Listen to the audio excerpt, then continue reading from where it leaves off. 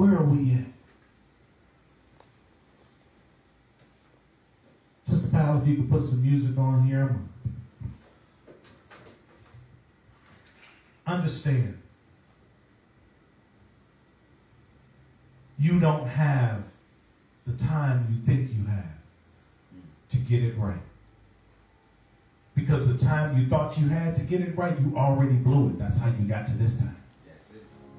You don't have the luxury of saying, when I get here, or when I get here, or when I get here, then I'm going to get this together. You got to get it together now. You're going to die and bust hell wide open because you did not want to bring nothing under subjection to cry out first. You wanted to speak first. Mm. See, you speak first and cry out to God second.